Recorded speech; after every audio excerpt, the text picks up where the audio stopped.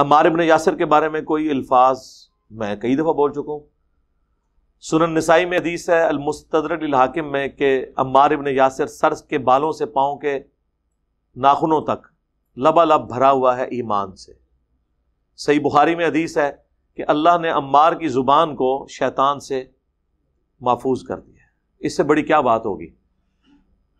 इस उम्मत में सबसे अजीम सादत उस शख्स को हासिल है कि जिसके माँ बाप इस्लाम के पहले शहदा हैं। सैदना यासिर और सैदा सुमैया रदी अल्लाम और ख़ुद उनकी इस्लाम के लिए कितनी कुर्बानियाँ हैं। सही बुखारी में मौजूद है। बाकी लोग तो एक एक पत्थर ला रहे थे मस्जिद नबी की तामीर में। उन्होंने दो उठाए हुए थे। हजूर इस्लाम को इतना प्यार आया कि अपने मुबारक हाथों से सर और दाढ़ी के बाल साफ़ करके कहा, वाह अम्बार तुझे एक बागी जमात कत्ल करेगी। तू उन्हें अल्लाह और जन्नत की तरफ़ बुलाएगा, वो जमात दोजक की तरफ़ बुलाएगी। सही Bukhari two eight one two और सही बुखारी में डबल फोर सेवन नंबर, ये दो जगह पे हदीस है। तो हज़रत अम्मार ने कहा, अल्लाह, मैं इन फितनों से तेरी पनाह में आता हज़रत अम्मार के लिए